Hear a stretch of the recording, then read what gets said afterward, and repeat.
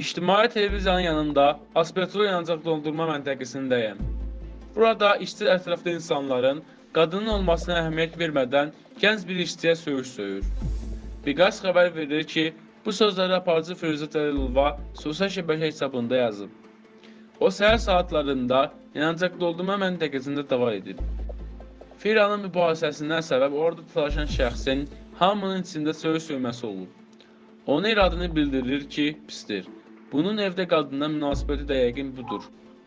Biz gənclər yaşda özümüzdən böyük olanlardan ibrət götürürük. Dediyi söyüşü ağzıma almıram. Müştəri ilə davranış qabiliyyəti də yoxdur, deyə bildirib.